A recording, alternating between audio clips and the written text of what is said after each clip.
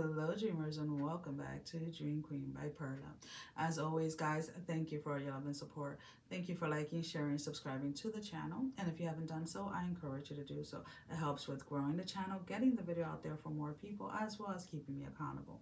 For personal readings, all that information can be found down below in the description. So let's go ahead and get started. Cancer, what do we have for Cancer? Um, there's something that you have been bottling up and it's almost kind of like um eh, whether it is you or someone that you're dealing with i feel that this is more like your energy cancer where you're blowing up on somebody somebody it's like uh, they uh, you, you suppressed a lot you've held back a lot from telling somebody off and it's all coming out. Um there there is a there is a sense of like um, whatever you're going to say is going to trigger this person into reevaluating um, how it is that they speak to you or how it is that they speak to others or how they treat others. But you, um, not intentionally, but unfortunately, during this blow up or whatever, this you're going to make this person feel very small. Um, there, there is a sense that you're trying to you're trying to find peace when it comes to a home situation or when it comes to work you're trying to please um you, you were let's put it this way trying to please many different people and now you're focusing more of trying to to to please yourself and find that peace. Knowing that no matter what you're not or you're finally realizing that you're not responsible for someone else's happiness. You're not responsible for someone else's joy. You can bring joy to other people but it, at the end of the day it is not your responsibility. Everybody has to be accountable for themselves right? Um and and, and this is something that unfortunately a lot of people are like, oh, you know, if you have to be nice you have to be this or you have to be that. But yeah, but there's boundaries to everything, right?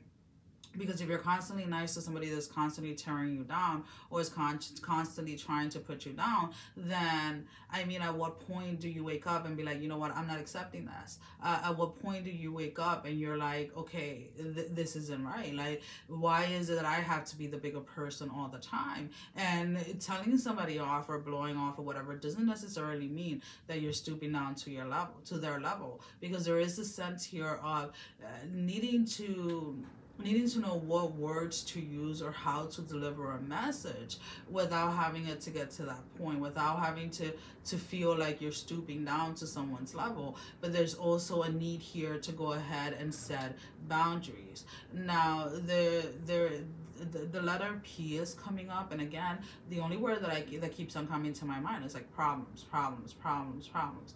A lot of you have been avoiding having a certain conversation. A lot of you have had an issue with standing up for yourself because you have been trying to avoid certain problems. There's a lot of things that you keep um, bottled inside, and the thing is that when you allow that to come out, um, it's coming out in a way that you're not able to control it because then you're just reacting instead of responding. So needing to learn how to speak your to speak your mind without letting yourself get to that point where you're reacting and you're going off on someone in a way that um, belittles them. Let's just put it that way. Because then at that point you are um, kind of coming down to their level.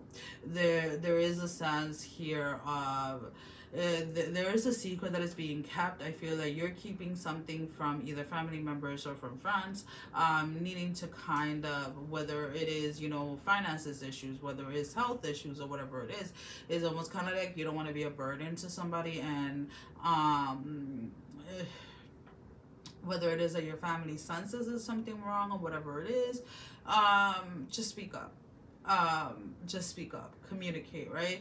Um, because the, the, the, the main thing here that is coming up is like you're not going to be a burden, right? You're not a burden to, to the people that you think you're going to be a burden um, to. Okay, Ooh, that was a lot. Um, the way that it was coming up. Um, there there is an energy here of like wanting. Uh, you're, you're wanting to get back to something or wanting to go home or wanting to travel. Um, maybe some of you will be traveling within the next couple of weeks or something like that. And and you're just you're just ready for the travel. You're you're ready and excited for the trouble.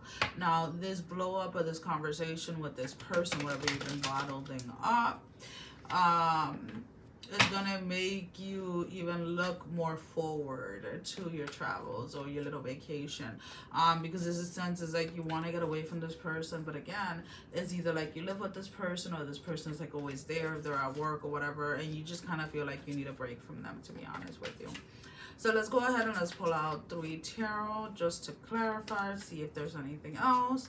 Um, we have the three of pentacles. Uh, what else, Spirit? We have the empress and then we have the high priestess. So again needing to needing to tap into that energy of needing to tap into this energy of um, self-awareness and needing to tap into this energy of okay how can i deliver a message or how can i express myself? Um, without having to hold things in for so long so that I don't blow up. Um, there is a sense here of wanting to learn how to communicate a little bit more effectively with those around you so that you don't not just you but also the other person so that things don't get to a point where where or when they get completely out of control so let's go ahead and let's pull out a and for some reason my ear i just went dead like i, I start i stopped hearing everything. Um maybe it is the person that you're dealing with. It's like no matter what you say they're going to take it however they want. And at that point there's really nothing you can do. Um or maybe there's somebody that really just doesn't give two shits. And they they hear what you're saying but they're not listening to the words that are coming out of your mouth. And at that point to be honest with your cancer then it's like what's the point why stay in that situation or why even deal with this individual. So let's go ahead. So i just need one card. So now the oracle card can be confirmation to the reading your advice or something that you're not seeing clearly that needs to be made aware of.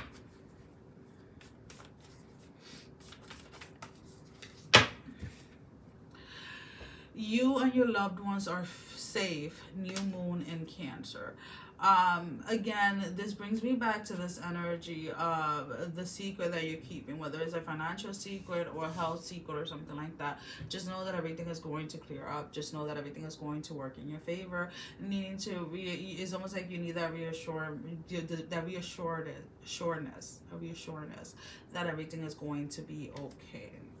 Um have faith that um whatever it is has already been um dealt with well, guys, that is all that I have for you for this week. Sending every single one of you love, strength, and blessing, guys. Take care. Love you all. Bye-bye.